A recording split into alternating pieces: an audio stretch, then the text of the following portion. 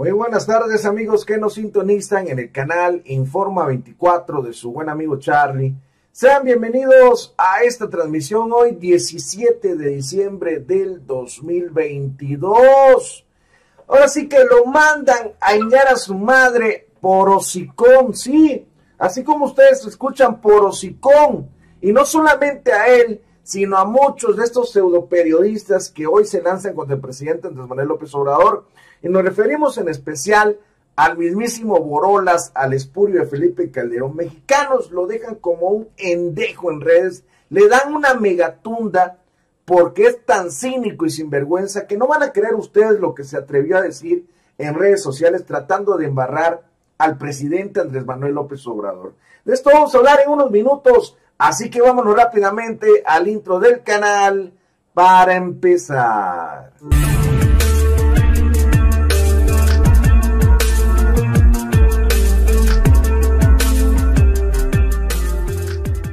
Pueblo no es tonto. Tonto es el que piensa que el pueblo es tonto, con todo respeto a los tontos. Muy buenas tardes amigos, sean bienvenidos a esta transmisión. Gracias a todos los que se están sumando al chat, bienvenidos y por supuesto también un cordial saludo a los que posteriormente vean esta repetición. Lo mandan a chingar por hocicón y estamos hablando del mismísimo Espurio Calderón, del mismísimo Borolas. Mexicanos lo dejan como un endejo por atreverse a decir lo que dijo. Miren ustedes esto. Saca el Borolas en su cuenta personal de Twitter permiso para matar. O sea, es increíble el nivel de cinismo de este personaje. Permiso para matar de 17 de diciembre, o sea, fecha de hoy.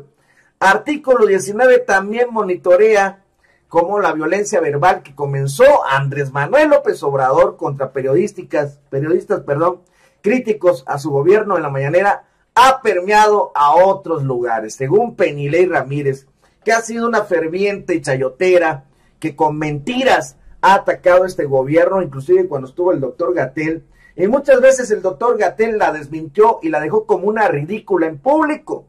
Porque eso es lo que les molesta a estos chayoteros, que les saquen sus trapos y que la gente los vea como unos mentirosos, como lo que son, porque son basura, no son nada. Pero miren, Felipe Calderón dice permiso para matar. Tratando de embarrar al presidente Andrés Manuel López Obrador, porque ahorita todos se están agarrando del atentado contra Ciro Gómez Leiva. Y vean, porque Rayuela saca, ¿y a quién beneficia un atentado en contra del periodista. ¿Y a quién beneficia? Vamos a hacernos la pregunta muy seria. ¿A quién está beneficiando este atentado del periodista Ciro Gómez Leiva? ¿A AMLO? ¿Al gobierno de la 4T? No. Y sin embargo, sí beneficia a la derecha. Y ahí en Rayuela lo sacan. ¿A quién beneficia un atentado en contra del periodista Ciro Gómez Leiva? A lo que vuelve Felipe Calderón a contestar, nivel de cinismo 4T. O sea, que juntamente, como con todos los demás chayoteros, afirman que el presidente es el culpable del atentado contra Ciro Gómez Leiva. Y que fueron sus seguidores de AMLO.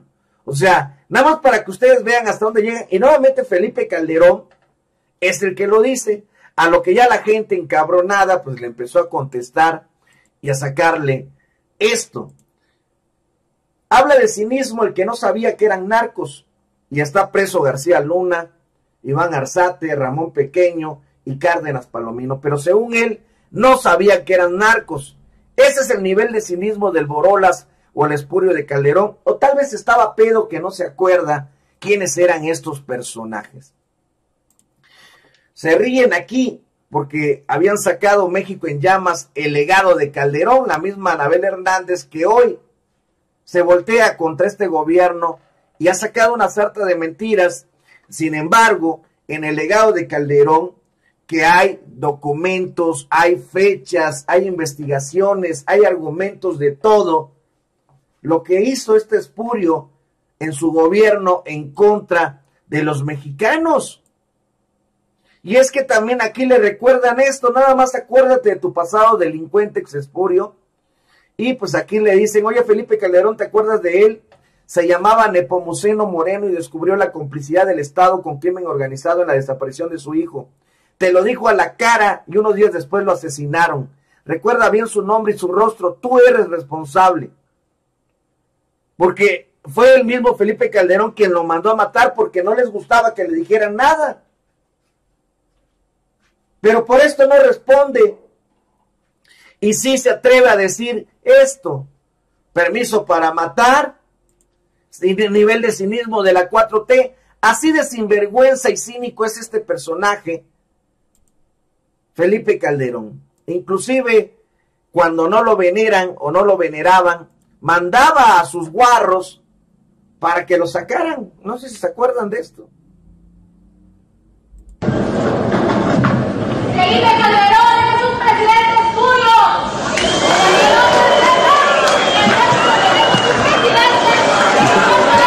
Para dar inicio a este evento con motivo de la inauguración de la vigésima primera edición de la Feria Internacional del Libro de Guadalajara, invitamos a todos los presentes a permanecer de pie para ello. Ah, cuando no le decían lo que les gustaba, mandaban a sacarlos.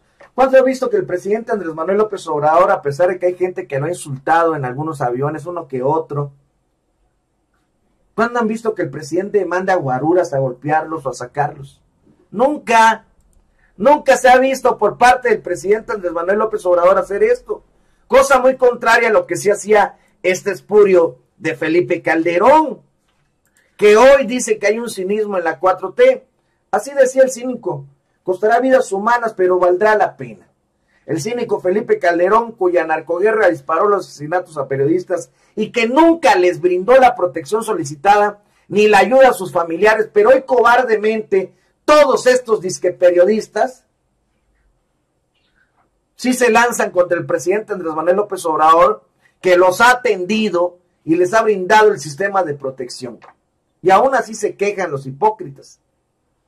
Pero en el sexenio de Felipe Calderón asesinaron a muchos periodistas y nunca les brindó la protección solicitada, porque era el mismo Genaro García Luna quien, su brazo derecho, estaba con el cártel del narcotráfico. Al concluir el sexenio de Felipe Calderón, el periódico francés Le Monde calificó su gobierno el 23 de agosto del 2012 como una hecatombe y a su supuesta guerra contra el narcotráfico la señaló como el conflicto más mortífero del planeta en los últimos años. Sus legado, 120 mil homicidios, 20 mil desaparecidos, 56 periodistas ejecutados y ninguno de ellos salió a ladrar en esos sexenios. Ninguno hizo una marcha, ninguno salió a protestar al Palacio Federal. Porque a los que asesinaban eran periodistas que realmente estaban en la calle investigando. Y muchos de los periodistas que hoy se sienten privilegiados como Ciro que recibió el atentado, a esos sí son los de renombre, contra ellos están atentando contra nuestra vida.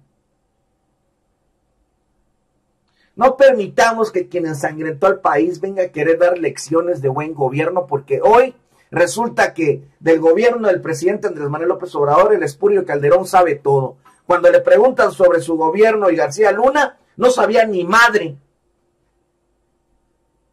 Y hoy nos quiere venir a dar lecciones de un buen gobierno. Y es que aquí van de la mano con los mismos medios informativos porque son los que le dan difusión. Los mismos medios chayoteros. Vean lo que dicen todos los medios chayoteros ahorita. Y díganme ustedes si no es un nado sincronizado o como bien dice Rayuela. ¿A quién beneficia un atentado en contra del periodista? ¿A quién le beneficia? Vean ustedes. Los ataques contra periodistas forman parte de un contexto de violencia generalizada en el país. En los últimos 22 años se tiene registro de 157 asesinatos de periodistas en México. Todos los días, periodistas enfrentan violencia e intimidación por parte de grupos de poder criminales, fácticos e incluso oficiales. Sienten que pueden agredir sin consecuencia alguna. Y duele decirlo, muchas veces se salen con la suya.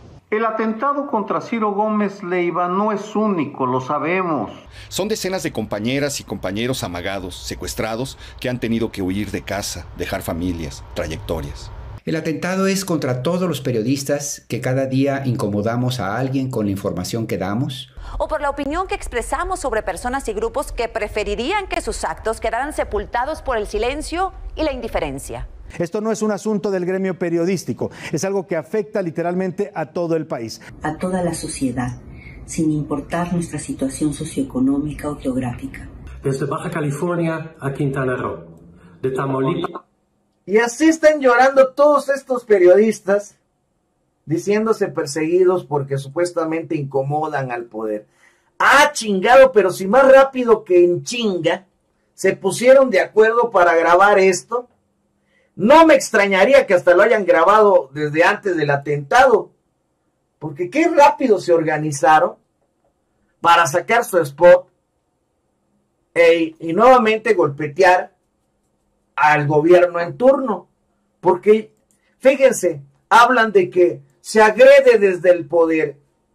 Sin embargo, les voy a mostrar lo que son esta basura de periodistas. Cuando destila odio y amenaza con matanzas es una gracia.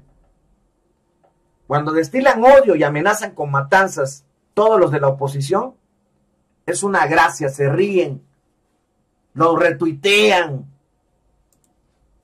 Y cuando el presidente critica sin amenazar a los periodistas, hasta lo aculpan de los ajustes de cuentas que con sus actos se han buscado.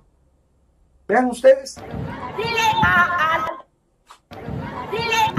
de Macuspana López Obrador que venga a matarme el hijo de su puta. Y de esto se reían y lo retuiteaban a diestra y siniestra y se carcajeaban y se burlaban del presidente. Ah, pero el presidente es el que está polarizando, el presidente es el que está sembrando odio. ¿Y qué tal cuando un periodista lo dice? concluyo, Pedro, que, que si se pudiera regresar a la época de la Inquisición, yo colgaba a cada uno de los, no, no colgaba, quemaba vivo a cada uno de los morenistas en el zócalo capitalino, Pedro, te lo juro. Y además, otra cosa, quien vote por Morena el año que entra será también un traidor a la patria, porque si no, se duele. Los quemaba vivos en el zócalo, Martín Moreno. Pero esto lo aplaudían. Ahí sí no hay problema porque como son intelectuales, son periodistas, los hijos de la chingada, ellos sí pueden agredir al pueblo y decir que nos pueden quemar vivos.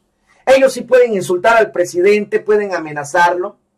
Pero el presidente no tiene derecho a réplica. Dejen de decir pendejadas y hacerse los llorones, los hijos de la chingada, estos periodistas o pseudoperiodistas que hoy se dicen perseguidos, cuando el pueblo sabe que son una basura, y que todos los días están miente y miente contra este gobierno y contra el pueblo de México. Son hipócritas. Y aquí se los estoy mostrando. Y me gustaría que me contestaran para ver qué pueden decir a todo esto que estamos viendo. Porque son muy buenos para alardear. Ah, pero de esto no se acuerdan. 143 periodistas asesinados en el sexenio de Felipe Calderón, que fue uno de los más violentos. Y dentro de los que se sabe. Pero de esto no dicen nada. Nadie salió a ladrar como ladran ahorita. Nadie salió a decir que tienen miedo. Que desde 2018 a la fecha todos tienen miedo. Hijos de su pinche madre, desde antes mataban periodistas y todos callaban como momias. Las cifras de la guerra de Calderón reservadas en un documento hasta el 2024. Durante el sexenio de Felipe Calderón, el 2011 fue el año con el mayor número de homicidios y es información que se buscó clasificar. O sea que hay más muertos de los que ellos informaron. Por eso hoy critican al presidente Andrés Manuel López Obrador Pero antes blanqueaban las cifras, las maquillaban. ¿Cuántas fosas clandestinas han encontrado a partir del 2018? Con cientos y miles de muertos que no fueron declarados durante los sexenios de Calderón, de Fox y de Peña Nieto. Ah, pero todos se las achacan al presidente Andrés Manuel López Obrador. Y vuelvo a lo mismo, tendríamos que estar muy pendejos para creer todo lo que dicen estos personajes, porque son los mismos que engañan al pueblo y que se quieren hacer como víctimas. Los mismos, los mismos personajes. Porque hay 2.458 presidentes municipales en todo el país. Hay 32 gobernadores en todo el país. Entonces, ¿por qué chingados culpan de la inseguridad a un solo hombre? Dejen de estar de huevones, inútiles y viedores y hagan su trabajo.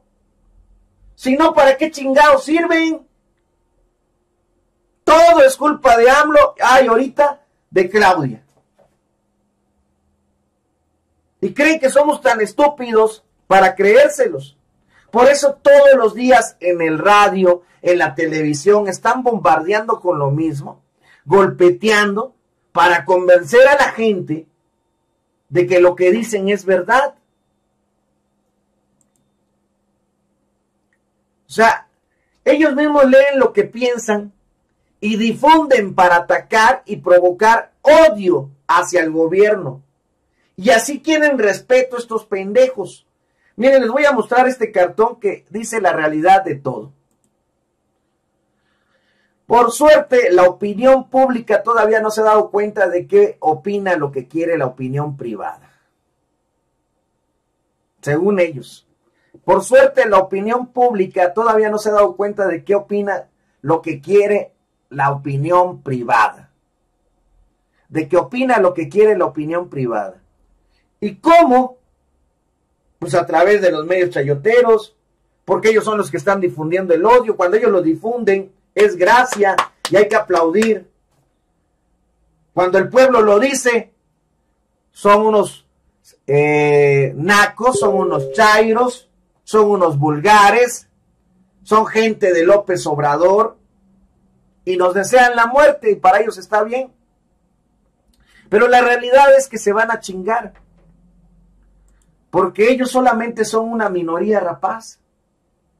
Y somos más de 70 millones de mexicanos los que apoyamos esta cuarta transformación. Y por más que les arda el fundillo, lo voy a decir como tal, a todos los opositores, a todos los derechangos, que sé que se han de rabiar escuchando esto, por más que les arda el fundillo, Jamás podrían levantarse contra el pueblo de México porque somos más y los haríamos pedazos. No les queda más que decir mentiras todos los días y todos los días y todos los días para tratar de engañar a uno que otro pendejo. Porque eso es lo único que hacen. Porque yo les digo a todos estos que atacan a este gobierno y al presidente, si atacas al presidente Andrés Manuel López Obrador, o una, es porque te pagan. O dos, es porque perdiste privilegios. Pero no es porque gobierna mal. Dejen de hacerse pendejos solos. Porque es el único presidente que ha llegado a trabajar por el país. Así que dejen de hacerse pendejos solos. Y aunque le siga ardiendo, va a ser su presidente y es su presidente. Y esto me da gusto porque no pueden rebatirlo. Aunque digan no lo reconozco, me vale madre que no lo reconozcan. Viven en México y su presidente es el licenciado Andrés Manuel López Obrador. Repítanlo conmigo una y otra vez. Dejen de hacerse pendejos solos. No hay de otra. Y ahorita que el espurio de Calderón pues sale a decir estas artes babosas, pues solito se busca que la gente le dé megatunda recordándole quién es este espurio de Felipe Calderón. Y que todo México ya sabe, la verdad. Lo mandan a chingar a su madre por hocicón y por metiche. Mexicanos los dejan como un endejo. Después de andar de cínico diciendo que el presidente está permitiendo el atentado a periodistas y con permiso para matar y cinismo de la 4T, pues le recuerdan su cinismo a este hipócrita y de paso a todos estos chayoteros que son sinvergüenzas, que son los que más han insultado a los mexicanos y quieren que todavía los mexicanos se solidaricen con ellos. Están pero bien pendejos. Eso no va a suceder. Mientras no respeten su oficio como periodista y sean congruentes y dejen de decir mentiras, el pueblo jamás los va a respetar, los va a seguir repudiando. Y si alguien recibe un atentado por lo que publica, porque me refiero a que ellos han publicado sobre cárteles, han publicado sobre otras cosas, hay gente que los ha amenazado, no el gobierno.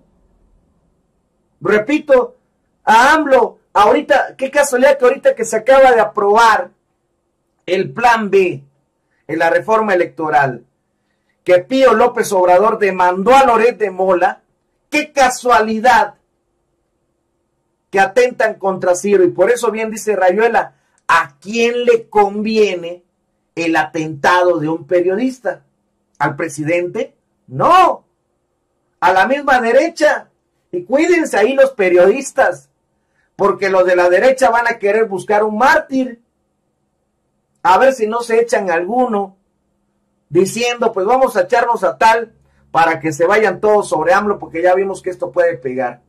No les funcionó eh, lo de Pío López Obrador, no les funcionó la Casa Gris, no les funcionó el Rey del Cash, no les funcionó que AMLO es brujo, pero ahora AMLO es asesino de periodistas. Y así se la van a llevar y después de, de esta van a volver a sacar otra y a seguir engañándonos. Pero el pueblo ya no se deje engañar por estos. Y lo más recomendable es que ya no vean ni difundan a estos personajes que irónicamente lo que hacen es tratar de engañar a la gente. Por eso todos los días están con esto. Todos los días diciendo que AMLO es malo, que es mal gobierno, que es el culpable de todo, que AMLO causa esto, que AMLO lo otro, cuando es todo lo contrario porque el peso está en 19.30 ahorita y cuando AMLO lo agarró frente al dólar estaba en 23 pesos y ahorita está en 19.30 centavos ante el dólar. Pero eso no lo dicen cuando eso deberían estar hablando los pinches chayoteros. No dicen que este diciembre se va a volver a pagar a la deuda externa más de 1.280 millones de euros. Y que también hace un año, eh, primer año, perdón, hace dos años, se pagaron 4.500 millones de dólares a la deuda externa. En lo que va del sexenio, el presidente ya dos veces se pagado a la deuda externa. Pero no lo dicen los medios chayoteros. Se está creando infraestructura, la refinería Dos Bocas, se compró una refinería nueva en Dilpar, Texas. Asimismo, el tren Maya, el aeropuerto Santa Lucía, Felipe Ángeles, perdón. Eh, se está generando más de un millón y medio de empleos, pero tampoco lo dicen. Los apoyos a adultos mayores, jóvenes construyendo el futuro y becas estudiantes está aumentando para beneficio de ellos aumentó el salario en lo que va del sexenio del presidente 120%. Cuando antes te aumentaban 20 centavos, 50 centavos, 30 centavos, 10 centavos, que era una mentada de madre para los mexicanos. Hoy, 120%. Pero decían que no se podía. El presidente tomó el poder en plena pandemia y aún así consiguió vacuna para todos los mexicanos y para dar a otros países. Pero siguen chingando la madre diciendo que el presidente es lo peor que le ha tocado a México.